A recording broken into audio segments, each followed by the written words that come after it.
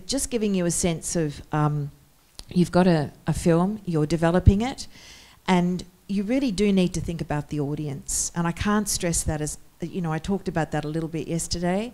But um, in terms of process, at every juncture, from the very conception of an idea, um, particularly in this world where people have to actually put their money in hand in their pocket and get money out and pay to see your film or pay to download and see your film, you really do need to know that that audience um, will want to see your film. And so uh, we did a very rigorous impact assessment at the beginning of the Frackman journey, and that very much dictated how we made the film. So think about your audience. Who is it? Where are they going to see this film? Eventually, they will probably see it on television if you go the theatrical financing model. Um, but it's you don't have that kind of collegiate approach that you would have in television by having a commissioning editor and a team of TV executives working with you, such as these um, two examples that were given earlier. It is a much more um, fraught uh, activity to be working without the um, distributors peering in all the way through the process. They will look at your script, but then they really don't want to know about the project, whether it's a documentary or a fiction feature, until they see a rough cut. And it can be terribly frightening to go after all that money has been spent. I mean, you are supposed to send them, uh, you know, rushes on the way through, but then rushes, as everybody knows, can be amazing, and the end product of a film can be terrible. And it's really that process of getting from your rushes through to the rough cut and managing your expectation or the expectations of the people that you're delivering to that is a very important part of best practice in terms of uh, producing. And uh, so I just wanted to mention that. In terms of markets, not just the movie convention, in terms of uh, markets here, there's curated markets such as 37 South, which is part of the Melbourne International Film Festival. Um, and there are other sort of individual meetings that you can set up with distributors in Australia, um, some of whom are scattered, but most of them are in Sydney and Melbourne. And uh, you really do need to think about how you're going to put those pitch materials together that we talked about yesterday. And you really do need to do a lot of research about the people, individuals that you're going to be pitching your projects to, um, because they're relationships that uh, are going to underpin the success of your business. And then, of course, there's the international markets because if you're putting a finance plan together for any documentary um, or feature film, you really do need to be thinking, as Matt was talking about today, the world is your oyster in a sense, and increasingly so. Um, you know, now with a feature film or a feature documentary, um, it's potentially, um, you know, open to you to set up um, a VHX platform or some other uh, platform uh, digitally and sell your film to the world from your bedroom, wherever your computer is, that you're accessing that digital platform.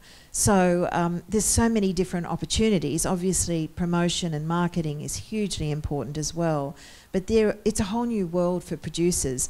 In a sense, there's the potential to cut out some of the the deadwood of the middle people um, obviously, the very, very leading uh, brand names in terms of distribution who get what you're doing and who are moving into the 21st century rapidly in terms of understanding how to get films out there, they need to be your best friends and we can't do without them.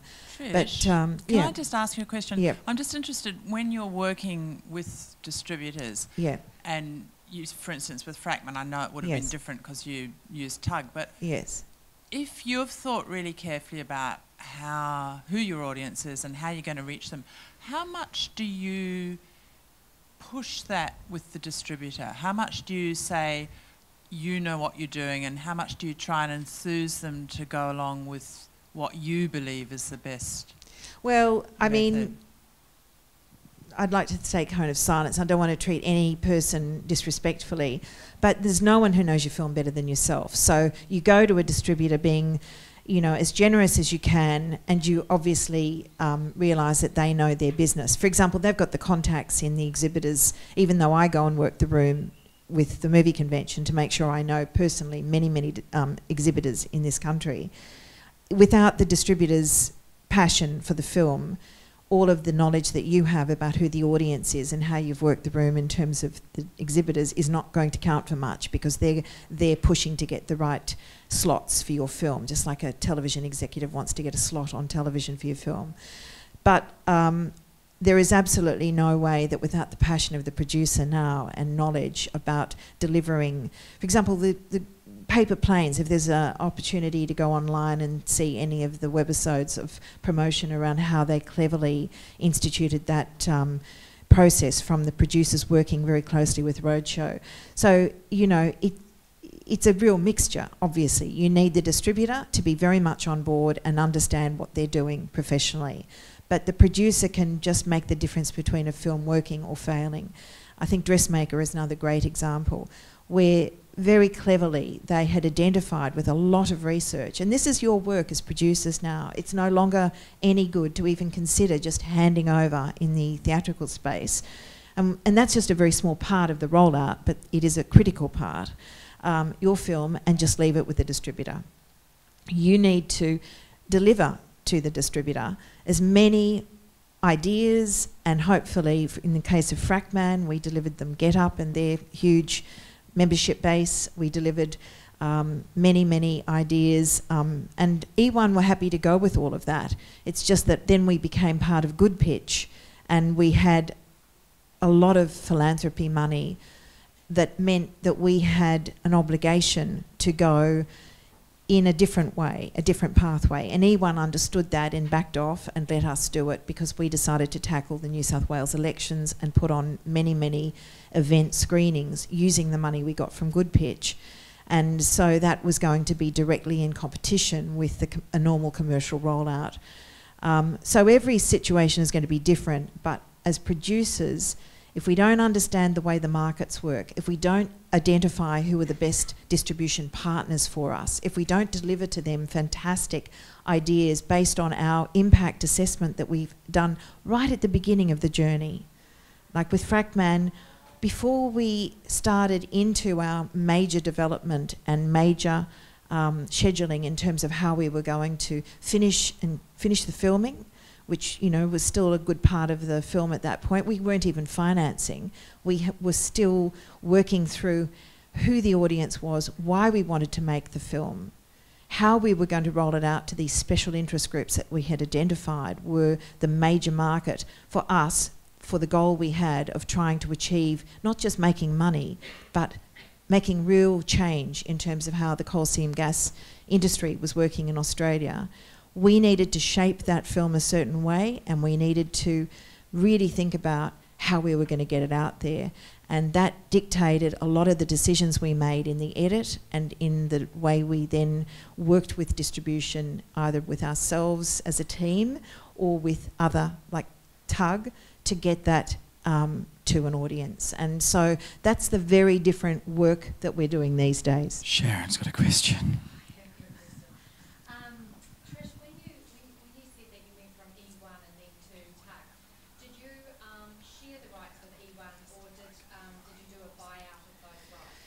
Um, to uh, the, you know, my eternal gratitude to Troy Lum at E1. He, um, we, we parted company in the nicest possible way because um, we just couldn't reconcile how we were going to do our own, um, you know, obligation to the good pitch support with the business model that E1 has, which is a very, very big company now. And so graciously, Troy stepped aside to let us do something unique and a very different sort of um, uh, process than what would have happened in the traditional model. So there was no exchange of anything other than you know goodwill and um, and just you know basically terminating those existing contracts. It was a terrible time for all of us. Yes. Well, you know, again, negotiation and um, goodwill and respect have to underpin everything you do. If you can't find ways to negotiate solutions, um, it's going to be a hard road to be a producer because you know even I think that's just business across the board. It is though a, a, a, a particularly um, key aspect of what we do because you know I don't send the writer in to do the negotiation, and the writer would expect me to do the difficult thing because their difficulty is something I can't do, and they manage their work. Um, you know, it's one of the kind of basic things that we need to be able to, and you can't let time go by. I mean, it was very difficult. Um, I remember getting um, an email um, when I landed on a plane um, somewhere and I just found out this, and I thought, goodness, this is going to be a really tough day today. But to, um, to, to his credit, Troy was fantastic about it.